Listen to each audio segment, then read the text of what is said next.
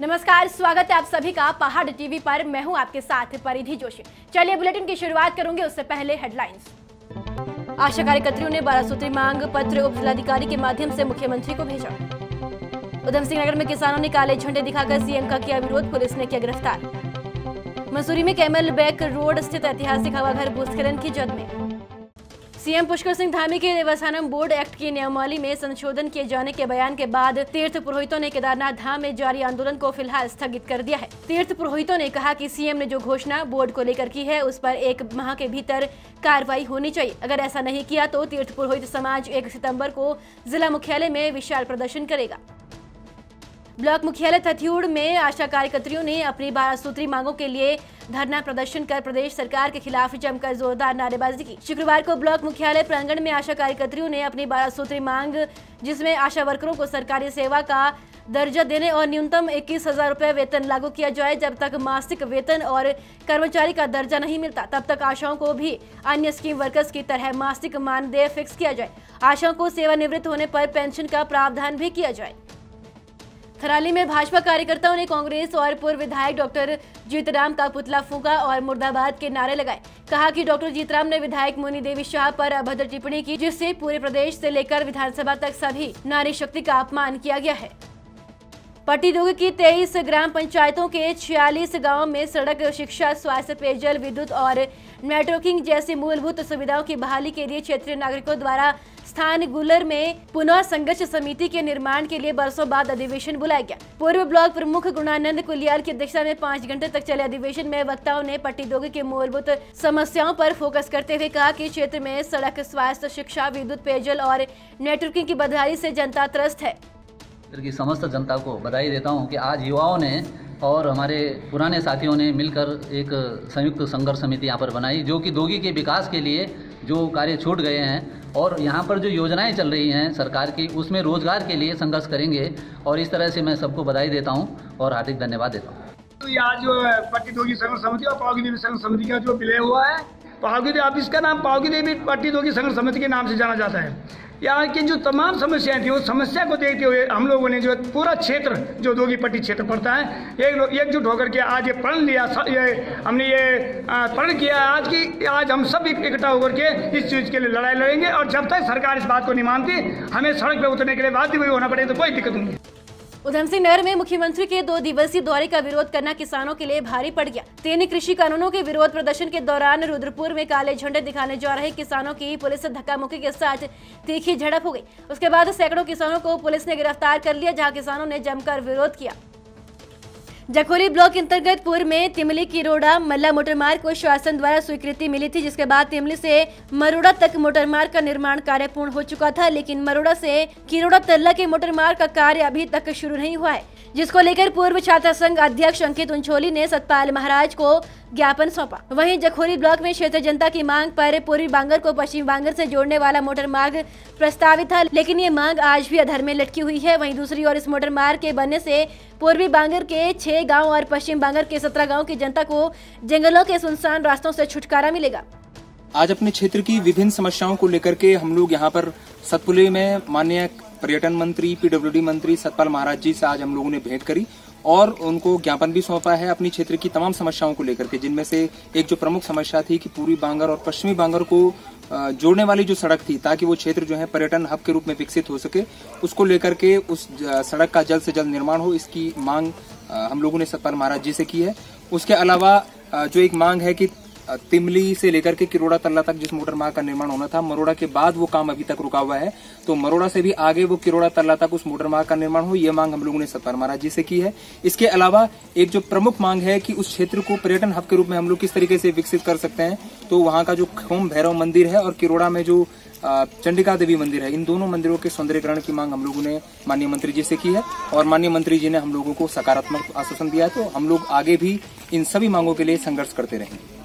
बाजपुर में ग्यारह सूत्री मांगों को लेकर नगर पालिका के सफ़ाई कर्मचारियों की काम बंद हड़ताल पाँचवें दिन भी जारी रही। इस दौरान सफ़ाई कर्मचारियों की काम बंद हड़ताल को उत्तरांचल स्वच्छा कर सफ़ाई कर्मचारी संघ के कर्मियों ने भी अपना समर्थन दिया। बता दें कि प्रदेश स्तरीय सफ़ाई कर्मचारी संघ के आह्वान पर ठेका प्रथा समेत ग्यारह सूत्री मांगों को लेकर सफ़ाई कर्मचारी बीते पाँच दिनों से काम बंद हड़ताल कर रहे हैं। खटीमा विधानसभा क्षेत्र के विधायक पुष्कर सिंह धामी के मुख्यमंत्री बनने के बाद प्रथम बार अपने गृह क्षेत्र के खटीमा आगमन को लेकर भाजपा कार्यकर्ताओं में काफ़ी जोश और उमंग है। सीएम के आगमन की खुशी से उत्प्रोत भाजपा कार्यकर्ता दिन रात खटीमा को सजाने संवारने में व्यस्त है। खटीमा में जगह जगह स्वागत गेट लगाकर भव्य स्वागत की तैयारियाँ चल रही है। प्रदेश के चिकित्सा, स्वास्थ्य और चिकित्सा, शिक्षा, आपदा प्रबंधन और पुनर्वास मंत्री डॉक्टर धन सिंह रावत ने अपने एक दिवसीय जनपद भ्रमण के दौरान जिला कार्यालय सभागार में स्वास्थ्य विभाग की समीक्षा बैठक ली। कोरोना की तीसरी संभावित लहर के दृष्टिगत स्वास्थ्य मंत्री ने जनपद के ढाई लाख बच्चों के लिए सभी आवश्यक दवा, उपचार इत्यादि की तैयारी प्राथमिकता के आधार पर पूरी करने के निर्देश स्वास्थ्य विभाग के अधिकारियों को दिए। स्वास्थ्य विभाग के अट्ठारह पद हमने एनएचएम से भरने हैं।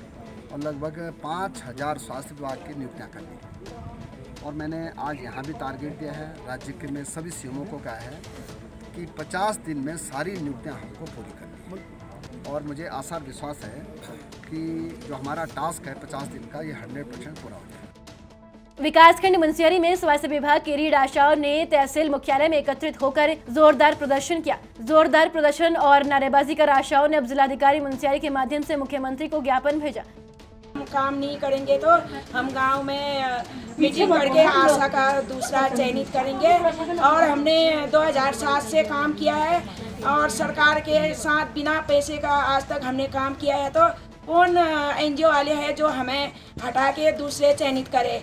ये हम जानना चाहते हैं कि सरकार से पूछना चाहते हैं कि कौन एनजीओ वाले हमें हटा के मतलब दूसरा चयनित करेंगे। और हम आगे मुख्यमंत्री से भी पूछना चाहते हैं कि सबका महिला स्वागत हो रहा है, महिला, महिलाओं का सम्मान हो रहा है, लेकिन हम क्या महिला नहीं है? हम जन सेवा नहीं कर रहे हैं। हम इतने जो 2007 से हम सेवा करते करते यहाँ पहुँचे हैं। सरकार आज तक हमारे सुधी क्यों नहीं लिया जा रहा है? छाओं ने जो ज्ञापन दिया है, उसका हमारा मुख्य मुख्य विषय यह है कि हमारा मानदेय फिक्स किया जाए और जो छोटी मोटी चीज़ों के लिए हमको बार बार परेशान करके हमें पचास रुपया सौ रुपये के हिसाब में दिया जाता है उसका हमें बिल्कुल लालच नहीं है हमको सिर्फ़ मानदेय दिया जाए। और आशाओं को जो कोविड के बारे में बोला गया था कि प्रत्येक केस में हज़ार रुपया देने के लिए इतना ड्यूटी किया हमने पूरे दो ढाई महीने तक उसका कोई सुध ही नहीं ले रखा है सरकार ने उसमें भी हमको मिलना चाहिए। और आशाओं को मानदेय ज़रूर देना चाहिए कर्मचारी घोषित करना चाहिए। आज तक विगत पूरे चौदह वर्ष बीत गए हैं। आज तक हमने बिना मानदेय का, बिना कुछ चीज़ का हम आगे यहाँ तक पहुँचे हुए हैं अपने बलबूते से। अन्यथा आज अगर इस मांग को पूरा न हो पाए तो आने वाले समय में हम जहाँ देहरादून तक क्यों न जाएँ, हमारी मांग पूरा होना चाहिए। कोविड में हम लोगों की ड्यूटी लगाई गई, उन्होंने हम लोग को दवा दिया, लेकिन हम लोगों को उस दवा का ज्ञान नहीं है।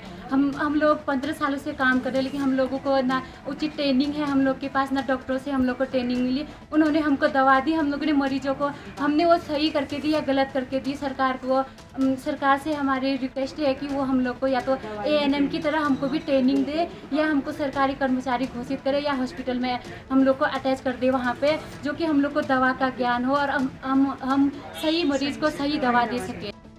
सरोवर नगरी नैनीताल के जिला प्रशासन की पहल से मलिता स्थित बीडी पांडे चिकित्सालय में बन रहे बच्चों के इलाज के लिए चिल्ड्रन वार्ड को एक आकर्षण के साथ उनके वातावरण में ढालने का सराहनीय प्रयास किया जा रहा है, जिसमें वहाँ के पर्दों और बेडशीट दीवारों में कार्टून टेडीबियर की तस्वीरों के साथ प्रदर्शित किया जा रहा है, जिससे वहाँ पर इलाज हेतु आने वाले बच्चों को अपने घर का जैसा वातावरण मिल सके। साथ ही बच्चों के खेलने के लिए एक मिनी प्ले स्टेशन की सुविधा वार्ड में ही बनाई जा रही है। नंदप्रयाग सफ़ाई कर्मचारियों की हड़ताल पर होने के कारण खुद नगर पंचायत अध्यक्ष और कर्मचारियों के साथ नगर को स्वच्छ रखने का अभियान चलाया गया जिसके कारण नगर को साफ़ सुथरा किया गया। देखिए वैसे तो मैं झाड़ू मैंने कई बार पकड़ा हुआ है क्योंकि मैं स्वच्छता के लिए कटिबंध हूँ और हमारे कर्मचारी भी सफ़ाई के लिए हम हमेशा कोई ना कोई अभियान करते रहते हैं। लेकिन इस बार मैं जनता को एक संदेश देना चाहती हूँ क्योंकि हमारे जो सफ़ाई कर्मचारी हैं वो लोग हड़ताल पे हैं और मैं जनता से निवेदन करना चाहती हूँ कि अपने चारों तरफ़ सफ़ाई रखें जब तक कि उनकी हड़ताल खत्म नहीं होती है तब तक वो लोग सफ़ाई रखें और हमारी कूड़े की गाड़ी आएगी। स्वतः ही वो इधर उधर से कूड़ा उठा के गाड़ी में डालें। जिससे कि सफ़ाई भी रहेगी और क्योंकि बरसात का मौसम है और बीमारी भी ना हो इस वजह से हम लोगों को एक हम ये अभियान पूरी कर्मचारी हमारे ईओ साहब वगैरह सब मिलके ये एक अभियान हमने अभी चलाया है जिससे कि जनता जागरूक हो और इधर उधर कूड़ा ना फैलाए और अपने जो नगर है उसको स्वच्छ रखें। नेहरू युवा केंद्र पौड़ी के द्वारा ग्राम सभा सिरोली में प्राथमिक विद्यालय में प्रधानाचार्य रोशनी कुंवर की अध्यक्षता में बेटी बचाओ, बेटी पढ़ाओ अभियान के अंतर्गत वृक्षारोपण कार्यक्रम किया गया। और कुछ दिन पूर्व चित्रकला प्रतियोगिता के विजेताओं को पुरस्कृत भी किया गया। और कुछ दिन पूर्व चित्रकला प्रतियोगिता के विजेताओं को पुरस्कृत भी किया गया। सितारगंज में आशा कार्यकर्तियों ने उप जिलाधिकारी कार्यालय के बाहर प्रदर्शन कर सरकार को उप जिलाधिकारी के माध्यम से बारह सूत्री मांगों को लेकर मुख्यमंत्री को संबोधित ज्ञापन भेजा। ज्ञापन के माध्यम से मांग की गई कि उन्हें मुफ़्त कार्यकर्ता न समझकर जो हम मेहनत करते हैं, उसका पैसा दिया जाए। मसूरी में कैमल बैक रोड स्थित ऐतिहासिक हवाघर भूस्खलन के बाद खतरे की जद में आ गया है। कैमल बैक रोड स्थित ऐतिहासिक हवाघर का पुश्ता भारी भूस्खलन होने के बाद ढह गया है, जिससे ऐतिहासिक हवाघर को भारी नुकसान हो सकता है। मसूरी में लगातार हो रही बारिश से भूस्खलन लगातार बढ़ रहे हैं। देवभूमि उत्तराखंड सफ़ाई कर्मचारी संघ के नगर पंचायत में कार्यरत पर्यावरण मित्रों ने ठेका प्रथा समाप्त करने के लिए पाँचवें दिन भी ग्यारह सूत्रे मांगों को लेकर कार्य बहिष्कार जारी रहा। नगर की सफ़ाई नहीं होने के कारण जगह जगह कूड़े के ढेर लगे रहे। शाखा अध्यक्ष सुमित पवार ने बताया कि जब तक सरकार पूरे प्रदेश में ठेका प्रथा को समाप्त नहीं करती, उनका आंदोलन जारी रहेगा। उत्तराखंड की बड़ी खबरों में फ़िलहाल इतना ही। बाकी अपडेट के लिए हमारे साथ बने रहिए और देखते रहिए पहाड़ टीवी। नमस्कार। ये है मेरा उत्तराखंड।